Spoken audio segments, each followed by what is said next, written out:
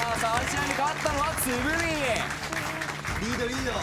まあこのジャックブルース両方ともジンパチというキャラかなり厳しいところキャラクターのがあるん相性がですよね。悪いところですねはい。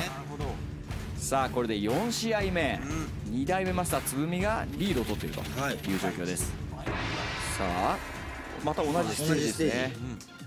ここで1本取ってさあアッパー強気に行きました。隙の大きい技なんですけれども当たれば浮くここで壁までコンボが決まってなんと6割強のダメージ。結構減ったなこでチェンジしてい今る。有利を取ってからのおっとってこれは空振りしている。下段から通位の攻めが続く。相性がいいんですよね。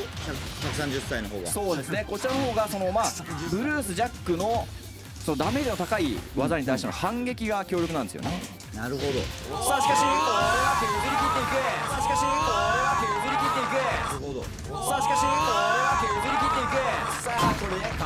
挑戦者影丸これで2人ねちょっとわかんないな。今チェンジ際でしたね。そうですね。あの下段キック当てた後にそのブルースの側の方が先に動けるので、はい。